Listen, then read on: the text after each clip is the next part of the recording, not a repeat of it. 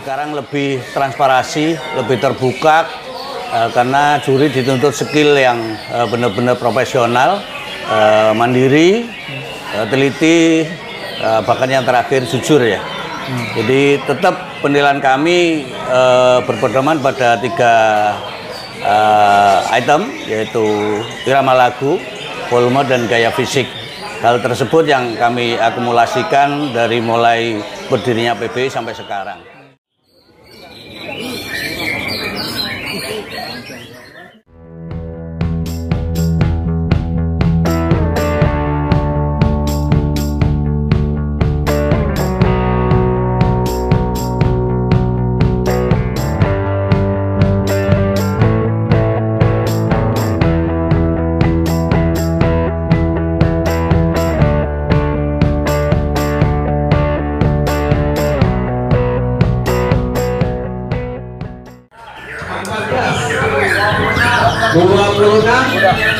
Di Subang.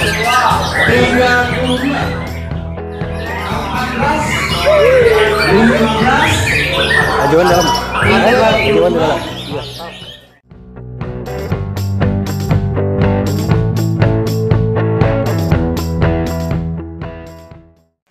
Baik, Assalamualaikum warahmatullahi wabarakatuh. Hari ini saya berada di uh, gelarannya uh, Owen Cup yang uh, Road to Road to Ro, iya, Road, Road, Road to Owen Cup yang keempat. Acaranya Haji Andi Owen dengan penjurian PBI sebagai salah satu perkenalan ya Pak Samsul ya betul. Ya. Nah di sebelah saya di sini ada dari toko orang PBI yang aduh yang saya hormatin sekali ini Apa kabar Baji? Siap. Dari Jogja langsung. Alhamdulillah. Baik. Terima kasih. Nah, ini kan momennya sebagai pengenalan untuk besok di Piala Raja ya. Ya. Bisa dijelaskan sedikit nggak, Pak Haji, apa yang eh, berbeda dari yang PBI penilaian PBI yang sebelum-sebelumnya lagi? Ya, terima kasih. Assalamualaikum warahmatullahi wabarakatuh. Salam lestari. Uh, Alhamdulillah rabbil alamin. Uh, bersyukur kehadirat Allah Subhanahu wa taala. Uh, pada siang hari ini kita mengenalkan sistem dan metode penilaian PBI yang terbaru uh, dari bulan Juni kemarin, Juni Juli sehingga uh, deadline sampai 30 Agustus. Itu nanti insya Allah kalau ini sudah uh, menjadi uh, notulen di PBI dan harus kita implementasikan penilaian yang terbaru dengan evaluasi-evaluasi setiap latihan di tempat-tempat yang belum pernah uh, apa tersentuh dengan penilaian sistem yang baru ini. Uh, ini di Jabar dan Jabodetabek baru perdana ini ya. Maka kami hadir di sini di gelaran Rotu Owen Cup yang keempat ini eh, mengenalkan sistem metode penilaian yang terbaru. Moga-moga bisa diterima oleh Kecamania Jabar dan Jabodetabek, Detabek ya. Dabek. Jabo Jabodetabek. Jabodetabek ya bisa diterima oleh teman-teman ini semua. Harapan kami kita tetap bersinergi ya satu dengan yang lain. Kalau perbedaan tadi disampaikan oleh Pak Is eh, sebenarnya sama, cuman sekarang lebih transparasi, lebih terbuka eh, karena juri dituntut skill yang eh, benar-benar profesional, eh, mandiri, eh, teliti, eh, bahkan yang terakhir jujur ya. Jadi tetap penilaian kami eh, berpedoman pada tiga eh, item yaitu irama lagu, volume dan gaya fisik. Hal tersebut yang kami akumulasikan dari mulai berdirinya PB sampai sekarang.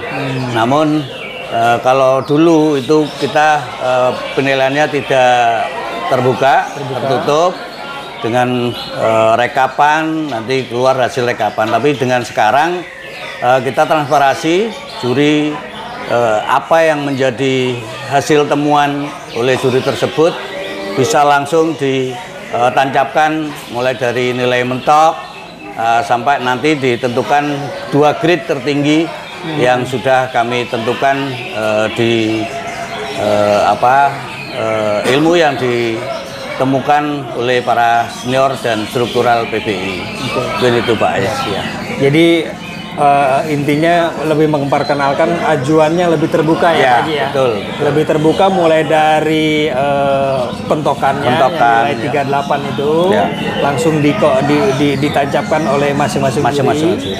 Dan nanti pun eh, masing-masing juri pun akan konser AB-nya pun langsung dengan, eh, Dengan sendiri sendirinya. langsung ya, sendirinya. Ya. Jadi tanpa ada eh, apa namanya eh, Bisik-bisik atau Ah, koordinasi, iya. Ada koordinasi ya. ataupun Ya. apa namanya rekapan, Rekapan. yang Yang eh, bisa dirubah yang, lah. yang dirubah ya yang ada asumsi bisa dirubah Ya, gitu. uh, kalau ini benar-benar transparan ya. Jadi collab hanya sebagai penyeimbang. Hmm.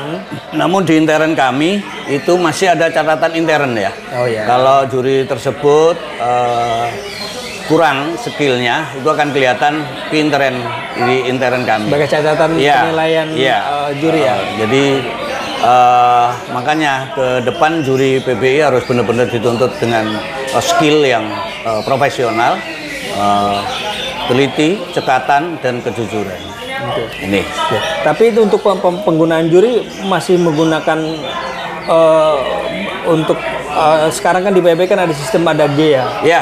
Ya, mulai bab dari tahun lalu kalau nggak salah itu Ya, udah mulai ya. menanamkan sistem yang bukan kolosal yang 60 Bukan, bukan. Ini udah ada sistem G, G, G, G24, G24, 36, dan 48. 48. Nah Ya. ini eh, apakah pem- eh, personil juri juga disesuaikan atau tetap se apa sama misalkan kalau yang kolosal kan yang 48 itu 6 atau 8 gitu. Ya, kan. ya. Apakah yang ini juga dipe- berkurang? Yang Tetap berkurang ya. Jadi kita memang kalau satu lab eh, menggunakan G24 sa- dalam satu lab di aturan kami sudah tertulis itu mengundang juri maksimal 8, core lab maksimal 2 Itu untuk satu lab. Tapi untuk untuk yang G24 kita tetap menerapkan untuk fungsional 4, core lab 1. Oh, Ya, untuk yang 36 itu core lab 1, juri 6. 6. Yang G48 juri 6, core lab 2. kelas dua. Iya, karena eh, fungsi dari core lab eh, kenapa lebih dari satu? Karena untuk mempercepat penghitungan, biar eh, apa- efisien waktunya. Oh, iya. jadi fungsi core lab ini sebagai penyeimbang Ya. dan sebagai apa nanti controller sebenarnya. Controller. jadinya. Oke, ini ini teman-teman eh, mudah-mudahan ini bisa dimengerti buat teman-teman sekalian ini sebagai eh, perkenalan di Jabodetabek untuk besok nanti di mungkin di Piala Raja adalah penerapan perdana perdana Perdana. perdana, nanti di bulan September ya, Pak. Ya, tanggal 10. ini- Jadi sistem baru yang udah kita godok ini eh, model arah jarum jam, sistem dorong. Nah, itu per blok nanti eh, kalau di kami tetap eh, berpedoman pada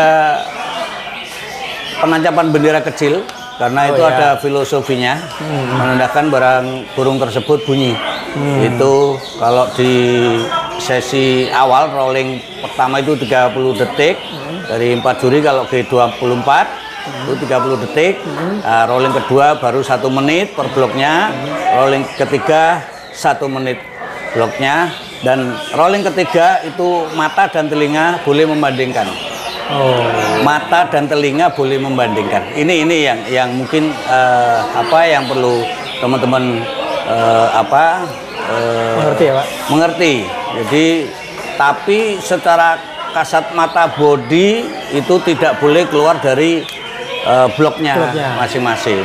Jadi mereka bisa mantau bebas untuk semua Untuk semua yang yang tadi mungkin Sudah ternilai lah pada saat udah waktu rolling eh, kedua dan ketiga itu oh, saya tadi masih ragu tapi begitu ending akhir udah mungkin udah ada kode-kode tersendiri ya. Hmm. Itu biasanya eh, skill juri masing-masing. Jadi istilahnya di sesi terakhir itu banding-banding ya. Ya, banding-banding. kita kenalkan banding-banding. Iya, betul. Untuk penentuan nanti akan koncer penentuan ajuan yang juri Hmm. Yang finalnya akan dulu ya. mentok itu akan mau di mana ya. Iya. Baik. Terus sama eh, banding-banding akhir Kak, ada ketentuan instruksi dari Korlap eh, banding-banding akhir yaitu mata dan telinga boleh ke mana-mana eh, yang penting fokus tapi body tidak boleh eh, actionnya terlalu over Over. ya Berarti itu tetap di bloknya. Ah, ah. Hanya Untuk, mata untuk, untuk mentok dulu. Kalau dia sudah nulis mentok perbandingan yang dari awal sampai akhir dengan keyakinan itu untuk mengoncer ah, itu A dan B-nya itu pertaruhan juri tersebut. Juri ya. Iya. Berarti tetap Skill. nih, tetap eh, skill juri, keberanian juri, mental juri tetap harus tetap tetap, Tetap harus, harus. di apa namanya di apa harus. digodok ya. Iya, Ya, iya. Harus di terus terus, Terus, di terus diasah. diasah ya. Sama saya berpesan pada kicomania semua teman-teman untuk melihat penilaian apa yang tertancap mulai dari 38 jumlahnya berapa itu kan dihitung sama koordinator lapangan yang akan ditentukan lagi dengan jumlah mentok Oh, iya. karena bendera kecil sama bendera mentok nanti akan diganti ju- jumlah mentok. Jumlah Nah, jumlah mentok baru ada apa-apa dari Korlap. Korlap menentukan grade 2 tertinggi. Hmm. Kalau G24 itu ada mentok 3 dan 4 itu di jumlah ada berapa disampaikan nomor sekian sekian sekian sekian sekian. Kebebasan juri untuk menancapkan A dan B-nya mentok 3 dan 4 itu boleh. Berarti yang berhak untuk dinominasi intinya ya. Ah, ah, itu. Tuh. Jadi tidak harus eh, umpamanya mentok 4 tidak harus A. Ya. Tidak harus A. Karena burung kualitas itu pasti ada sedikit apa ya? Kekurangan lah. Kekurangan dan kelebihannya. Kadang ada burung yang mentok 4 tapi burung kerja aman. Aman. Nah, ini mohon teman-teman Mengerti ya. mengerti, dipahami eh, kami tidak eh, mendiskreditkan untuk hal itu. Iya, iya. Tetap memberikan keleluasaan mentok 3 dan 4 itu kewenangan juri mutlak. Koordinator lapangan atau yang lain tidak boleh membisik atau mengarahkan. Tidak ada kode apa pun ya, Ya, Pak Haji. Nah, kesalahan itu tanggung jawab nanti intern. Internal dari, Intern dari eh, IP Pem- dan pengurus. Ya, itu jadi Ya. juga untuk mengontrol eh, juri-juri yang bertugas ya Pak Haji, Ya. ya. Sebagai salah satu kontrol dan penilaian sebenarnya Pak Haji, ya. Oke. Mungkin ada lagi yang perlu disampaikan Ya Pak cukup, saya rasa cukup. Terima kasih. Wassalamualaikum warahmatullahi wabarakatuh. Salam sejahtera, salam lestari. Baik, terima kasih buat teman semuanya hari ini eh, untuk eh, waktunya dari Pak Haji Samsul PBI Salam Lestari.